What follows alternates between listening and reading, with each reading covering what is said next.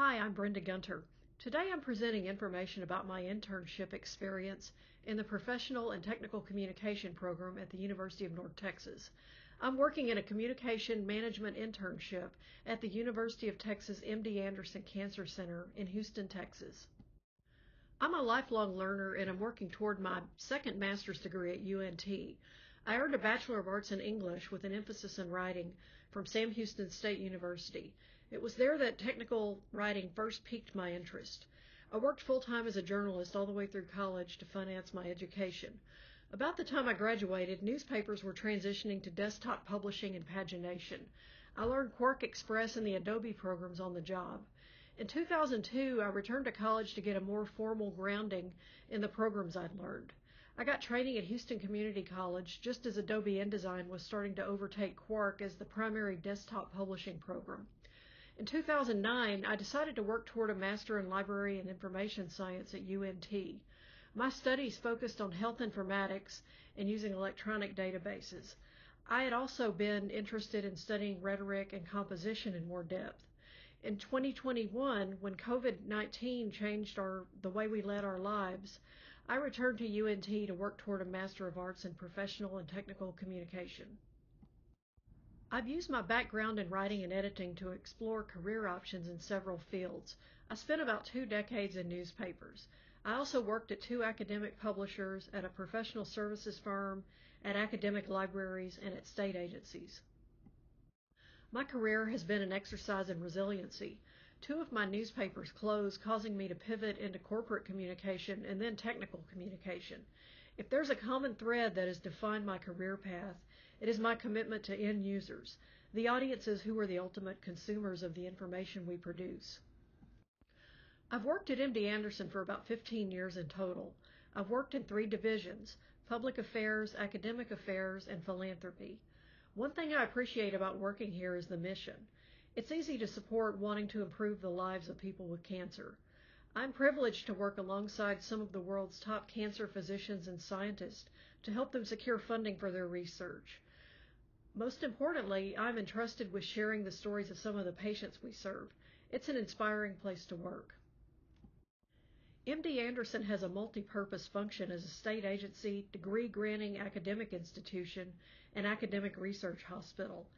In 1971, it was named one of the nation's first three National Cancer Institute designated comprehensive cancer centers.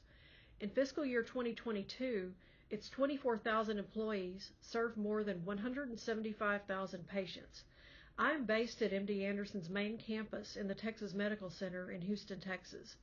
MD Anderson also has locations in the Houston suburbs, across Texas, and as a network partner in hospitals across the United States and around the world. I've worked as a manager and senior level individual contributor in different areas.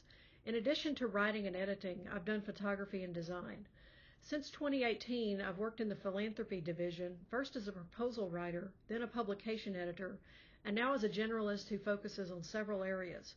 We connect donors with people and programs that inspire them to support new therapies that offer hope to patients. MD Anderson's main campus encompasses several city blocks across the Texas Medical Center, and we worked in one of the outlying buildings. We routinely walked or shuttled across campus before COVID 19 forced us to rethink the way we work in March 2020. We've been working remotely since then. We attend a lot of Zoom meetings and have in person gatherings a few times a year. I work in the philanthropy division in the philanthropic engagement area and the donor communications department. My department's primary purpose is to generate revenue by producing research focused proposals for philanthropic support. These proposals are shared with prospective donors by gift officers who work in another department in our division. My colleagues and I collaborate with gift officers and faculty members who can be physicians or researchers on the strategic direction of proposals and other deliverables that support donor engagement. When I was a journalist, my work might be seen by 800,000 readers. Now, much of my work is seen by only one person, but it may be looked at very closely and can result in a gift of thousands or even millions of dollars to the institution. It's important that it be done well. Employees in the Donor Communications Department contribute as writers, editors, designers, and project managers. We had 13 employees at one time, but for the past year we have been working with as few as five employees at times. Meanwhile, our workload is expanding as we prepare for a campaign to support MD Anderson's growth and development. We've experienced transitions in leadership at all levels, and my department is currently undergoing organizational changes. I have a new senior director who is serving as my supervisor for this course. I also report to and work closely with my director. I officially have one direct report, but I've unofficially managed the work of others as we work to fill vacancies. Employment is now open to anyone from Texas, which widens our pool of potential applicants. I work as a generalist on the triage team. We're a group of senior level communicators that can pick up different types of projects and run with them. I've always enjoyed working as a generalist because of the variety of work we get to do. It allows me to keep my skills in different areas at least somewhat fresh. MD Anderson has a hierarchical structure with a strong system of protocols. I occupy a specialized niche deep within the organizational structure, but I work up and down the chain of command frequently. To work here, one must get comfortable with managing up without much official authority and owning one's expertise. Just as physicians and researchers know the most effective ways to treat cancer, the people in my department know the most effective ways to present information in a way that resonates with donors. I enjoy getting to work with people in all areas, at all levels, across the institution. I was fortunate that I was able to structure an internship in my current position with help from my UNT technical communication advisor and my work supervisor. My supervisor has been here less than six months, but he is already introducing new ways of working informed by his experience on the East Coast. It has led to some major process improvements. One strength of MD Anderson is that it draws employees from around the world and across the U.S. who provide diverse perspectives. Some of my duties for my internship include creating and refining a project management function for leadership correspondence with donors. I also manage production of print and online deliverables. I manage a team of writers and work with people throughout our division. Our courses at UNT have provided a great foundation in technical communication. I have taken insights to the office from each of the five classes I've completed. Our courses have informed my approach to managing teams, working in collaborative groups, writing for particular audiences, and gaining proficiency in software. In some cases, I've been familiar with the software but learned techniques to use it more productively. In others, I've had the opportunity to use software for the first time. In a recent class, we got our feet wet with ChatGPT just as discussions about AI software started occurring at work. I felt prepared to participate because of my UNT experience. The learning I've acquired at UNT has enabled me to polish my skills and remain a relevant contributor. We use several different types of software at work. We recently transitioned from a server-based architecture to Microsoft 365. This enables us to work more effectively and securely in a remote environment. We also use Adobe Creative Cloud, primarily Acrobat Pro, but also InDesign, the InCopy plugin for InDesign, and Photoshop. Occasionally I'll use Qualtrics to design, write, and deploy surveys. And of course we also use Zoom and Teams for meetings. Since May of 2023, I've been working to create a project management process for managing the production of executive correspondence.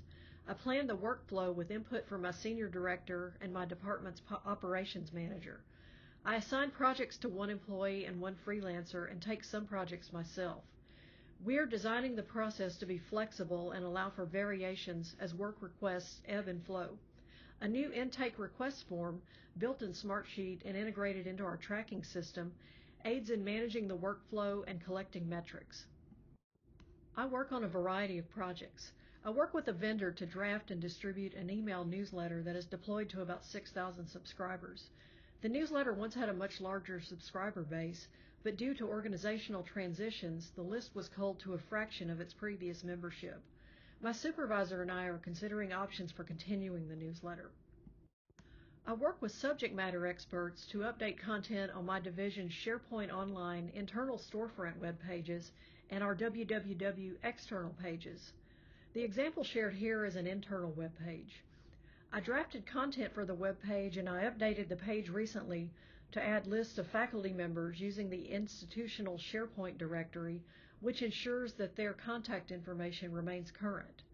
For the www pages, I update content and share with subject matter experts to coordinate production in Adobe Experience Manager. The biggest challenge in my department is bandwidth.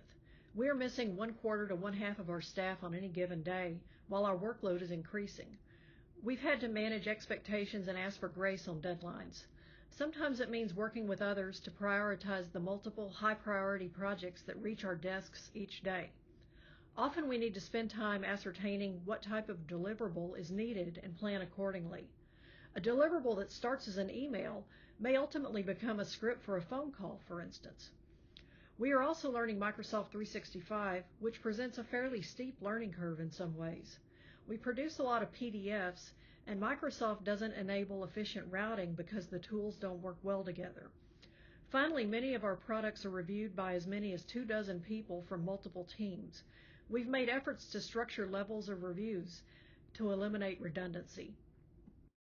Streamlining the peer review process is the number one thing I would change. By the time a deliverable is routed for reviews, multiple content experts have seen it and approved it, but despite our best efforts, we often receive feedback that focuses on rewriting copy that's already been vetted, which has the potential of introducing rather than reducing errors. We also need to reduce the time it takes to hire employees. Recent policies have added time consuming steps that sometimes result in excluding the very employees that the policies are intended to benefit. We're reminded frequently to observe work life balance, but we often receive calls and emails on nights and weekends or have workloads and deadlines that necessitate working extra hours. MD Anderson has also structured their benefits to acknowledge that career paths are more fluid than in the past. That helps some employees, but not others. There are also things I would not change that drew me back after I left for a while and worked at other state institutions. As I said earlier, MD Anderson's mission is inspiring, and it's a privilege to work alongside patients and employees working to end cancer. My department and division have brought in talented, collaborative, positive team members who are a joy to work with. We also have relatively good benefits compared with other hospitals in the Texas Medical Center. When I returned to MD Anderson in 2016, I didn't expect that I would get to have another benefit, working remotely but many employees were already working on a hybrid schedule one or two days a week. After COVID, about 40% of the institution started working remotely full time. Our leadership was visionary in recognizing the benefits from a business standpoint. These are a few of the takeaways that I've learned in class and at work. I'm a recovering perfectionist and have increasingly given myself permission to let projects go when I've done all I can do. Working remotely has changed the way we approach work-life balance, and I'm working on that too. My aspirations for the future include taking more courses at UNT and graduating with my MA in Professional and Technical Communication. I'm fairly far along in my career, and I plan to continue working in my current position or in something similar where I can use the skills I've learned here. I also hope to start teaching undergraduate students in technical communication. I'm interested in giving back, and I'm at a point where I'm ready to explore that. Thank you for viewing my presentation. I love to talk shop. Feel free to contact me if I can answer any questions.